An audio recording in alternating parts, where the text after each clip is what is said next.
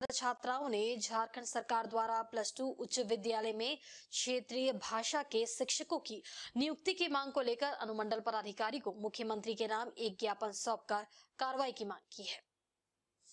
मौके पर छात्र छात्राओं ने पड़वा स्थित माझी महला भवन से अनुमंडल कार्यालय तक नारेबाजी के साथ जुलूस निकाली, जिसमें काफ़ी संख्या में प्लस टू के छात्र छात्राएँ उपस्थित थे। जुलूस अनुमंडल कार्यालय पहुंचकर धरना में तब्दील हो गया, जहाँ एसडीओ को मुख्यमंत्री के नाम मांग पत्र सौंपकर क्षेत्रीय भाषा में शिक्षकों की नियुक्ति की मांग की गई। धरना के माध्यम से छात्र छात्राओं ने कहा कि झारखंड में स्थानीय भाषा के शिक्षकों की अविलंब नियुक्ति की जाए।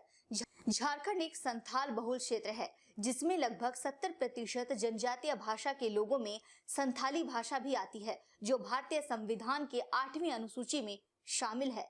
छात्र छात्राओं की मांग है कि संथाली भाषा के शिक्षक नियुक्त किए जाए, जिससे संथाली भाषा का अस्तित्व बना रहे और झारखंड में जनजातीय छात्र छात्राओं के भविष्य उज्जवल बन सके।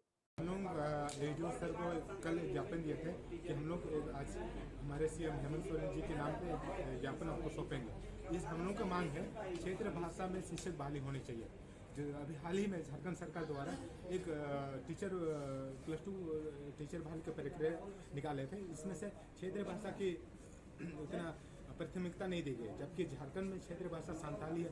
उसके अलावा कई हो है, बहुत कोई है क्षेत्र भाषा, जबकि क्षेत्र भाषा के एक भी शिक्षक बाली की सीट रिक्तियाँ नहीं दी गई। भारतीय जनता युवा मोर्चा जमशेदपुर महानगर जिला अध्यक्ष अमित